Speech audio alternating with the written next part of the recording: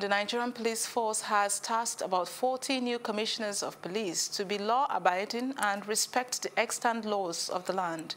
The Inspector General of Police, Mohammed Adamu, while reading the Riot Act to the newly promoted commissioners of police in Abuja as he met with commanders of tactical and operational units of the force, warned that they will be held accountable for their actions and they perform their duties to the nation. Can advance beyond the competence and dedication of its strategic leaders. Neither can any organizational goals and plans be attained without a crop of highly committed personnel to drive the implementation process.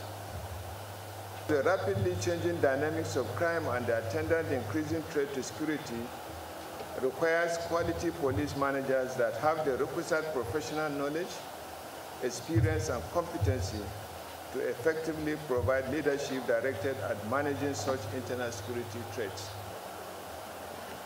The impact of this is that any organization that does not or delays in recognizing the potentials of its personnel and rewarding them by promoting those eligible as at when due stands the risk of retaining crops of highly demotivated officers who will not be optimally dedicated to the standards and goals of the institution. I'm confident that you will deploy your wealth of experience towards supporting the Nigeria police in the attainment of our mandate, especially at this critical time in our nation's internal security evolution. Let me, however, remind the promoters that to whom much is given, much is expected.